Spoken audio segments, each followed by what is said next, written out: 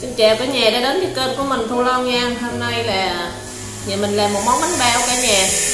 Lâu nay nhà mình cũng ờ, không có ăn bánh bao cả nhà. Bây giờ mình cũng thèm. Giờ mình sẽ mua bột về mình làm một bánh bao cho gia đình mình ăn. Cả nhà xin mình bắt tay cùng làm nha cả nhà.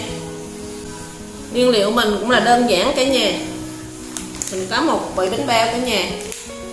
Bánh bao là mình mua là bánh bao người ta pha sẵn á cả nhà. Bị bánh bao đó, được 400g gì được cả nhà. Để mình có là gồm tới là nấm mèo sắn cà rốt một ít ngà rí nha cả nhà.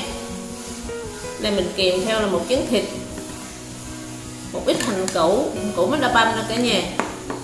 Là một chén trứng. Trong đây là mình có chục cái trứng cút với hai cái trứng gà cả nhà để mình làm cho nó ngon bỏ trứng gà vô thêm. Mình có 100 gram đường cả nhà chỉ làm một bịch sữa tươi không đường. Để mình làm cho cái bánh của mình nó thơm, nó béo cả nhà.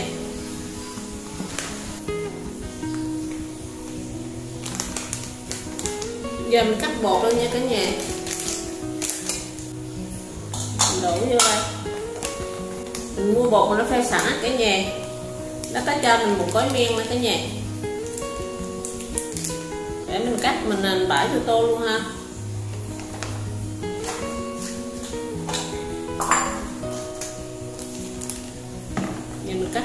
Bả được to tô luôn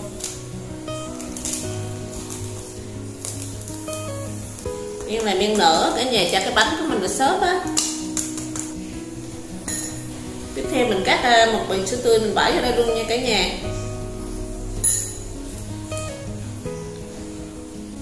Mình ngâm cho men nó nở rồi nữa cả nhà.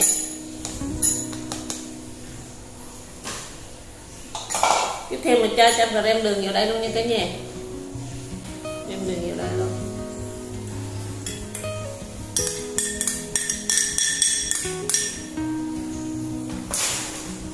Rồi mình khuấy cho nó đều nha cả nhà. Khuấy, khuấy cho nó đều hết. Rồi mình để cỡ 10 phút cho men nó lên men cả nhà. Giờ mình uh, cho một éo riêng ra chí nha cả nhà. Để mình làm cái bánh mình lỡ nhão mình có một éo mình thoa tay lên cho nó dễ làm cả nhà ha. Giờ mình cho bánh muỗng vào đây ha. Đó để beo muỗng vào đây để mình làm một éo cả nhà.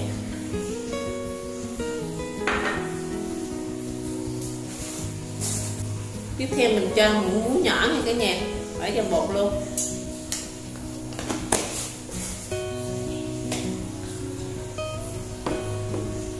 Rồi.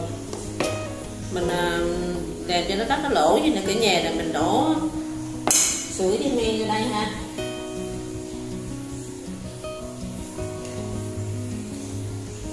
Men của mình đó cũng à, lên gạch cua rồi cả nhà.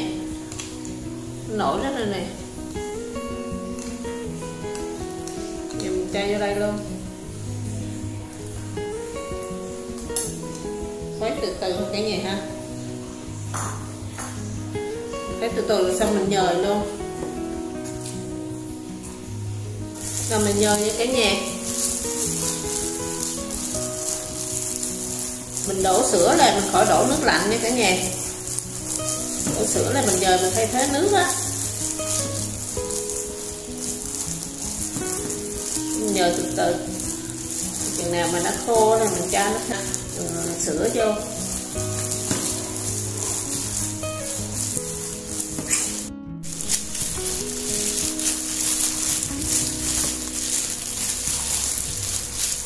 Mình cứ nhồi bếp cỡ 10 phút 15 phút gì cả nhà.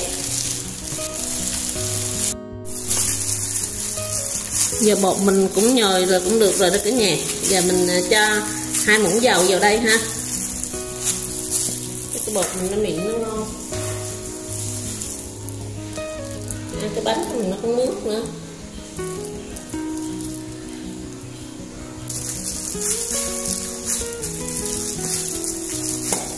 Thì có dầu ăn vô nó cũng có dính tay, nó có nhà giờ bột cũng để xong cả nhà ha. Bây giờ mình à, đậy nắp rồi mình cho bột nó nghỉ cả nhà nó nghỉ cỡ 60 phút á. Rồi thời gian à, mình cho bột nó nghỉ là mình quen mình làm nhân cả nhà. Mình đi cho gia vị vào nhân luôn. Rồi với thềm nên mình dễ làm cả nhà. Đệm trên bàn nó gặp gình gặp gình, khá làm. Nhưng để nắp vô đây luôn cả nhà ha rồi bắt đầu mình trộn gia vị vô nhân nha cả nhà. Giờ mình cho trứng thịt vào đây ha.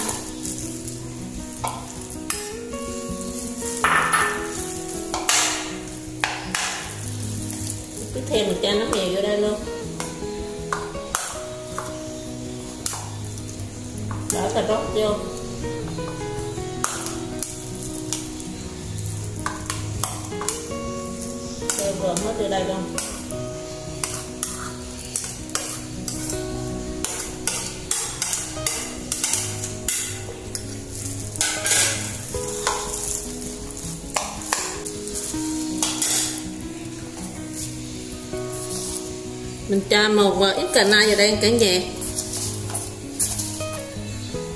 Cho nửa muỗng bột cà na là bột nêm đó cả nhà. Nửa muỗng bột ngọt ha. Một muỗng đường nữa cả nhà. Mình bả thêm một ít tiêu vô đây luôn, cho nó thơm.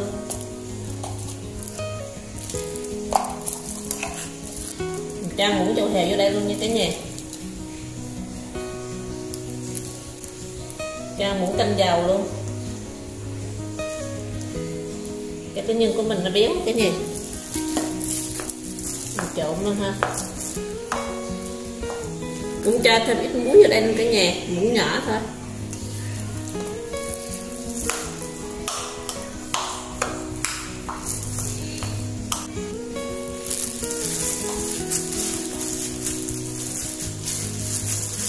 Đó mà trộn một từ từ rồi nó thịt nó, nó, lên trên lại cái nhẹ nó sẽ ờ, đều hỗn hợp này luôn.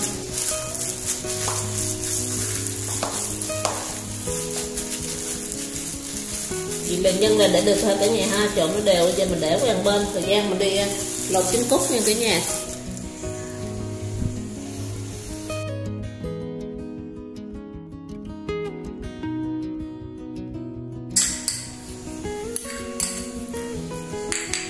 Trộn rồi bắt đầu là mình gói nhân ha. Mình để như đây, để mình bỏ nhân vào đây mình hấp cái nhà. Giờ mình làm nhân như cái nhà.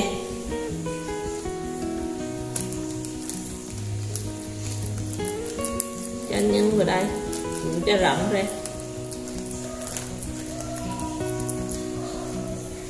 Mình bỏ cái trứng vào đây cái nhà ha.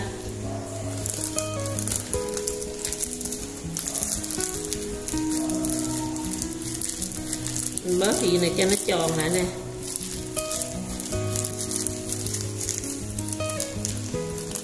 Rồi, nó tròn như là cái nhà ha. Xong mình bãi vô cho nó sững luôn. Đó là hồi mình hấp luôn, cả nhà. Thì mình tiếp theo mình làm cái ơi như vậy luôn, cả nhà. Mình làm cho đều vậy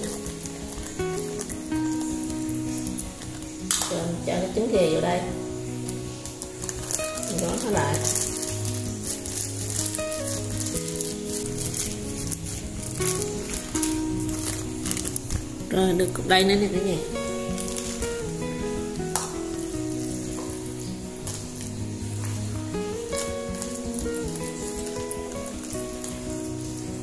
nhưng nó thơm ghê cả nhà ơi.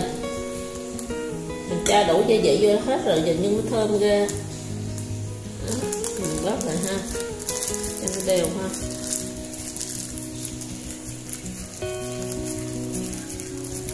Nắng thì là cái nhân mình nó đều. Tròn đều rồi cả nhà, giờ mình làm tương tự vậy cho hết luôn ha cả nhà ha.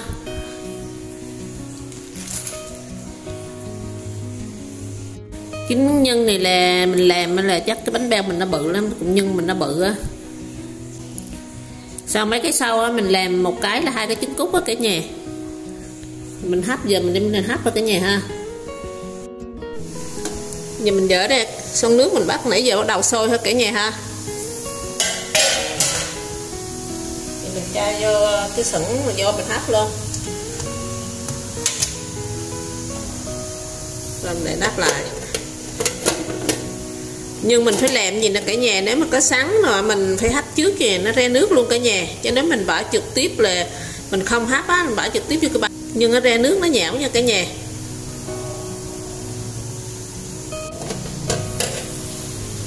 Rồi nhân nó cũng chín rồi cả nhà ha, giờ mình tắt bếp vào cả nhà ha. Mình bước qua mình làm mà bột. Mình sẽ nhồi bột lại là mình sẽ làm bánh luôn cả nhà? Để nó nguội đây mình à, bút múc ra luôn.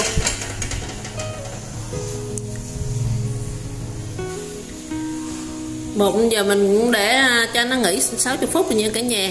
Giờ nó cũng nở ra. Bây giờ mình à, chuẩn bị mình nhồi lại mình làm ha cả nhà ha? Cho vô đây ít bột éo cả nhà ha. Để mình làm cho cái bánh mình nó dễ chắc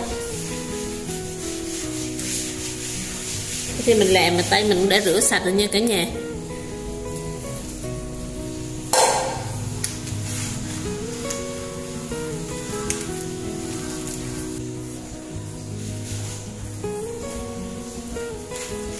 Mình làm bánh gì cũng vậy, bất cứ phải để một ít bột éo ở ngoài cả nhà. Để mình kho vô tay với lại vô cái cái cái mâm cho nó dễ làm á. Làm bánh bao này nó cũng tiện lắm cả nhà sáng là mình ăn sáng, cũng ngon. Cái xế là mình đói bụng á, mình lấy là mình ăn, cũng ngon cả nhà. Bây giờ mình làm cái bự lên ăn cái nó no luôn á. Giờ mình cắt lên ha. Làm bèo cả nhà, bèo cả nhà?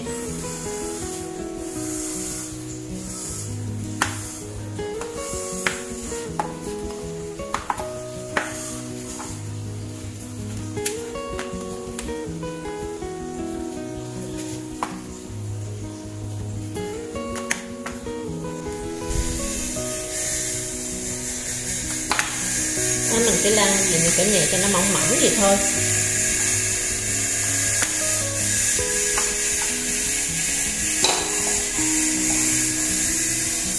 Giờ mình cho nhân vào đây ha, cả nhà ha.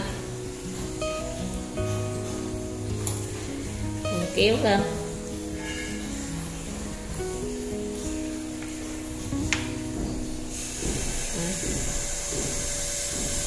rồi, cái này mình kéo vô.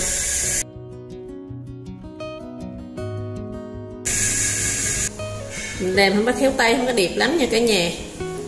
Kệ nó, mình ăn mà miếng xanh nó ngon là được rồi cả nhà ha.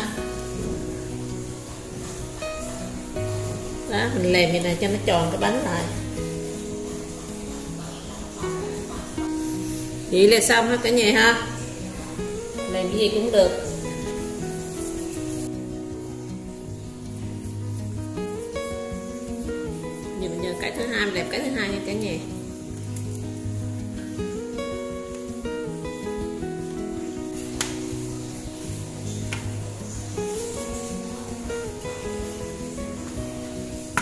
Mình kén để cho nó đều, cả nhà.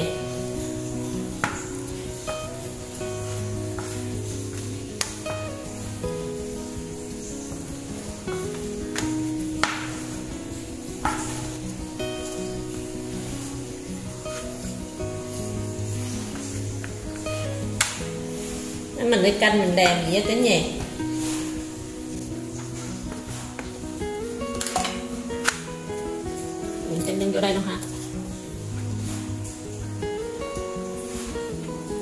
Tí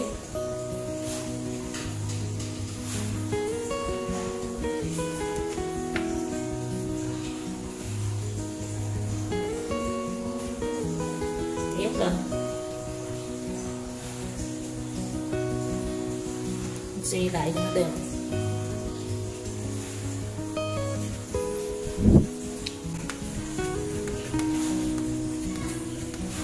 Rồi, được hai cái nha cả nhà mình canh mình làm là thấy hai cái nó cũng đều cả nhà ha. Giờ mình làm tiếp cái thứ b ha. Khi mình làm cái cái nào mà mình dời cái đá thì cả nhà. Để cho cái cái bột mình ở ngoài nó khô quá, cho nó vô trong lại. Mình vào viên. Số còn lại mình làm cho nó hết luôn nha cả nhà ha. Giờ mình cũng để làm xong chín cái bánh bèo ha cả nhà. Bây giờ đầm đem mình hấp ha cả nhà ha. Giờ mình bắt cái đồ lên mình hấp nha cả nhà. Mình cho cái bánh mình nó trắng cả nhà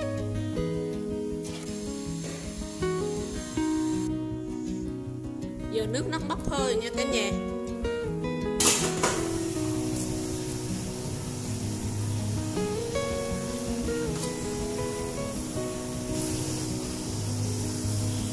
Giờ mình để cái hấp bánh cho mình cả nhà.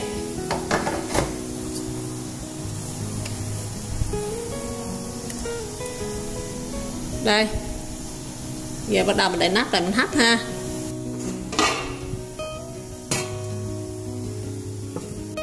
Bánh mình để hấp xong ha cả nhà ha. Mình bỉa cái bánh nha cả nhà.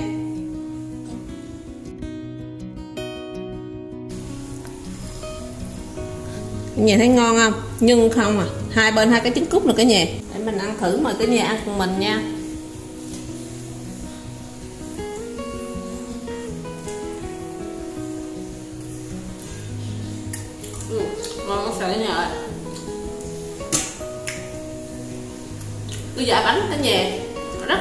mình nó, nó béo cái nhà mình bỏ 100 gram đường cái nhà mà với lại sữa tươi không đường đó rất là béo luôn. Mà cái nhân của nó là vừa ăn nữa. Rất là béo cả nhà có um, cái nấm mèo cái nhà sực sực sực. Rồi mình làm uh, thịt heo mà thịt nạc cái cả nhà nạc vai á nó rất là mềm. Mình chỉ cho một xíu à, nạc mỡ cho thôi. Nhưng cái bánh của mình nó rất là ngon. Một cái bánh mình làm rất là bự cả nhà vì cái nhà mình mà ăn một cái là con mình ăn một cái là chắc nó no luôn á. Nhìn thấy không? Nhân ở trong cái nhân thật là ngon luôn. Dễ làm cả nhà. Điều mình ở nhà mình làm mà mình ăn á, nó không có đẹp. Chứ mà nó cũng đạt được rồi, cả nhà nó rất là dễ làm. Mình chịu khó là cái bánh beo ăn cả nhà, ha? Video của mình tới đây kết thúc như cả nhà. Cả nhà xem video, thấy thích, nhắn cho mình một like và share đăng ký kênh ủng hộ mình nha cả nhà. Hẹn gặp lại cả nhà ở video tiếp theo nha. Chào, bye bye cả nhà